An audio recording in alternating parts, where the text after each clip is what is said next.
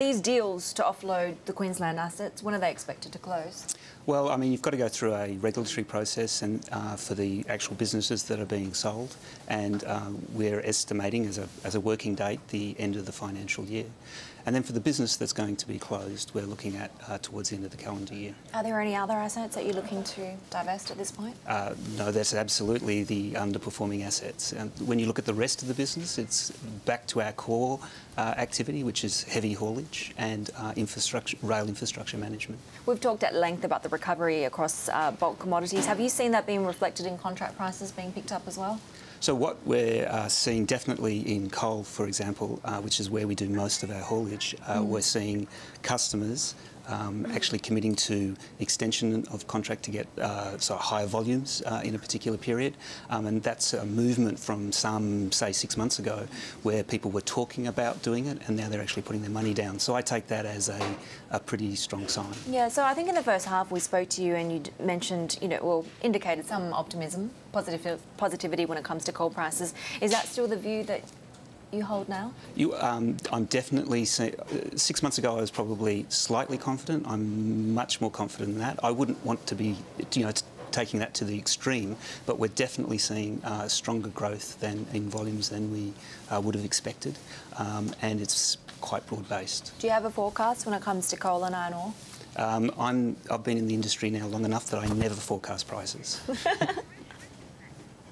Andrew, are you seeing a recovery overall? What are you seeing in uh, you know, the commodity space, looking at Western Australia in particular? Are they out of the woods in your view? Um, what I'm actually seeing is what you'd expect with uh, volumes, uh, prices that are holding up long enough and probably longer than people expected, that people are gaining um, additional uh, confidence and that's actually uh, starting to sort of uh, transfer into uh, financial commitments for you know extra uh, haulage contracts, for example. Okay, well, indeed. So you know, has you've got a net loss at the moment? How do you become profitable looking down the road or the rail?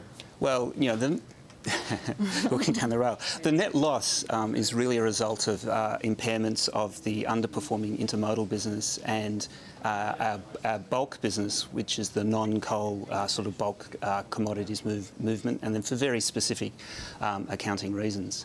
So um, when you look at the core parts of the business, our network business, um, uh, which is the uh, below rail management, and then our above rail coal business, they're going very strongly. And the secret with the uh, with success for the future is actually uh, getting back to those core businesses, and that's what has generated the uh, need, uh, desire to sell the uh, underperforming assets.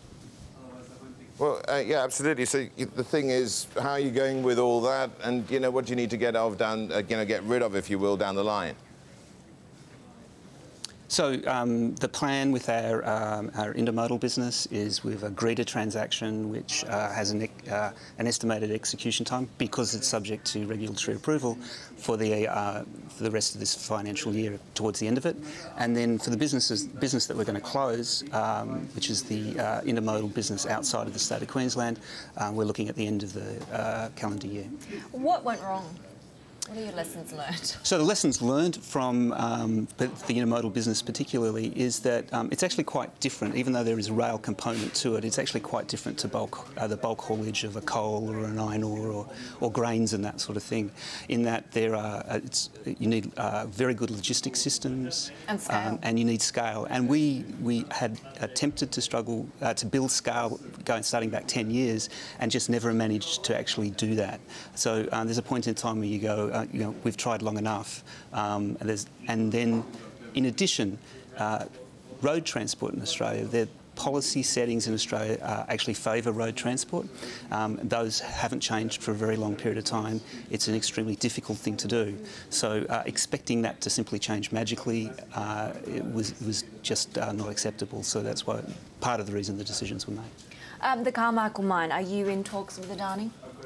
So we continue to be interested in the um, development of the Galilee Basin um, and supporting any uh, customer that actually uh, wants to actually start um, uh, in the Galilee. And you know we've put forward um, a number of proposals, and our best proposal uh, this year to actually um, become in, uh, involved. And uh, at the moment, it's part of a uh, a Northern Australian Infrastru- uh, Infrastructure Fund, sort of um, a process of consideration, and we're just uh, seeing how we get through that process. When do you anticipate that you'll get a response? Well, the challenge with those sort of processes is that I'm not in control of them, and there's no indication of when um, the process actually uh, is, is finished. So we continue to, to be part of it without actually having a sense of the end date.